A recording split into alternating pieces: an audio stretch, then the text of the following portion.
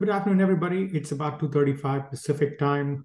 Today is Wednesday, the 29th of November. Hope everybody is well.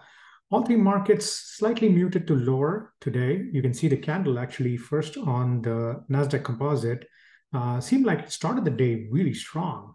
Uh, 135 points up at one point of time. Look at that. It was up 135 points and then just absolutely moved all the way down to negative ended up at negative 23 points, about one tenth of a percent or so. Uh, again, I think just more than anything else is consolidation. Uh, you look at the daily chart, you can see that after a good strong period of highs, the cup and the handle formation, just to give you a little bit of context, always try to make it up with the big picture. Beautiful cup, beautiful handle. Third of the move in, that is when you find a cup and a handle, and then a strong move back up again. Taking a little bit of time to judge is just a good thing. I would rather see this than just a straight up and a straight down. So this is a good good price action still within the channel. So I'm happy that it's going in the way that it's going. Um, and I'm going to continue to watch this. On the S&P 500 side, the S&P 500 also had a little bit of a down day, four points negative, one tenth of one percent. Uh, on the chart, just look at this. It's consolidating after a move up. It's a little bit outside of the channel, but not too worried about it just yet. Uh, again, a cup and handle formation, as you can see on the weekly chart. Nice, beautiful cup, good handle, move back up again. So this is going to take a little bit of time, a little bit of time to consolidate move. Sorry about the phone phones. and then the Dow Jones Industrial Average. Aha. The Dow Jones Industrial Average up a little bit, very, very slightly up. Uh, good price action. As I mentioned yesterday, of the three, this is the strongest of the indices, forming very, very well. Good breakout. This is a loudspeaker pattern moving straight up. It's going to get a little bit of resistance in the 35,600 zone. I think until then it's good, and then probably move a little bit lower, get a little bit of a retest done, and then move up towards the end of the year. Uh, there's some noise this morning, I think, about the fact that we had a lot of people expecting a rate cut, the federal interest rate cut sometime in the first quarter. I'm not sure about that, but I'm not going to uh, necessarily bank on that to make move forward. Right now, markets are up. The indices are pointing up. The 20-day moving averages, 50, and the other days moving averages are moving up. So I'm I'm um, optimistic, more than cautiously optimistic. I'm optimistic. One of the companies that showed up on the radar is Workday, WDAY. I've been a long-time holder of the stock. So let's go through a five-step analysis, see what they did well, and see what is the reason why they came up on our radar. So the company always start with the annualized income statement first to get a little bit of a big picture. So seven-year plan, eight-year plan, 1.5 billion in revenue 2016, four times that, 6.2 billion, growing at 30%, 20%, moving down a little bit, 18 to 20%, and moving up back again in 2020 to 20%. This year, it's on track to do a little bit less than that um, good margins overall, nearly 70, 75% gross margins. Losing a little bit of money, it would it made a little bit of money and then started losing money again. So last year it lost a little bit of money. Let's look at it from a quarterly perspective. So this year it's on track to do about 15, so less than 20%. So if you remember, it's in the low 20%, in the very, very low 20% now. It's probably going to move in the 15% range. 15 to 20% range is where the growth is for 2023. Uh, so 15% growth on revenues, again, 75, 80% gross margins, actually making a profit right now, very small profit in the less than 5% range, but still making a profit. So not a bad sign, good sign. Uh, company is valued about eight, $70 billion, $60 billion on a revenue of about 6.9. So about eight, nine times. Let's go through the balance sheet really quick to find out if there's any red flags. 13 billion in total assets, 3 billion in debt.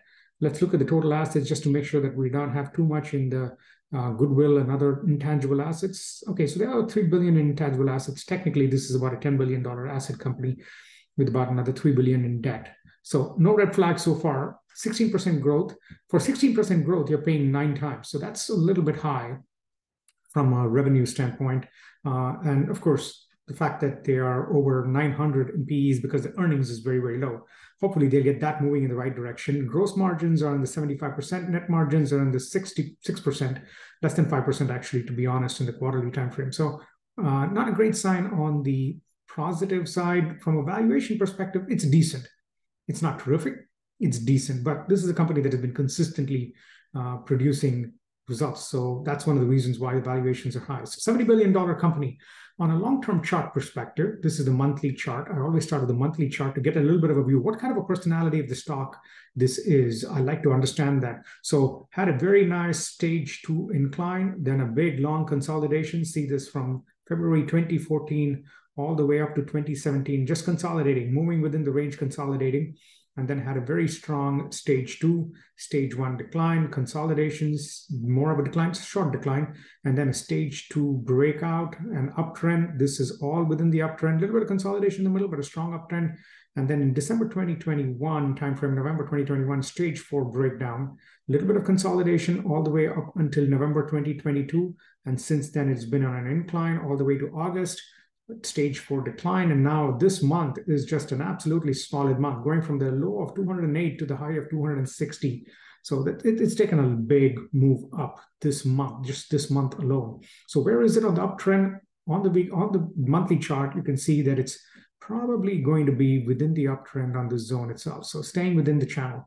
So I like this. There is a little bit of resistance that you can definitely see will be forming even in the 287 zone, maybe a little bit lower, even in the 275 zone. Look at this. That's one resistance area that it's got to cross. But otherwise, this looks like a $300 stock in a good period of time. Uh, obviously, the earnings, most recent earnings are the ones that probably will give you a good indication of how they did. And we'll get to that in a little bit. Weekly chart, this was, okay, so this is one of the reasons why. This is a head and shoulder formation. This is shoulder, left shoulder, head, right shoulder, decline and then it tried to attempt to move up. And since then, it's been a strong move back. This is one of the key resistances that it blew through, 253.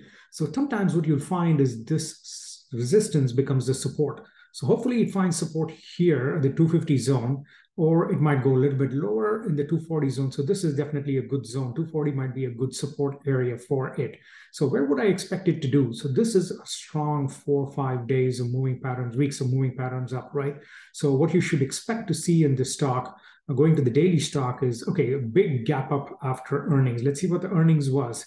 1.8 billion beat estimates by 18 million, not much beat even earnings, surprised earnings on the upside by about uh, 8%. So good earnings, good gap up. Not a perfect candle. I'd like to see a green, strong candle that moves up, but excuse me.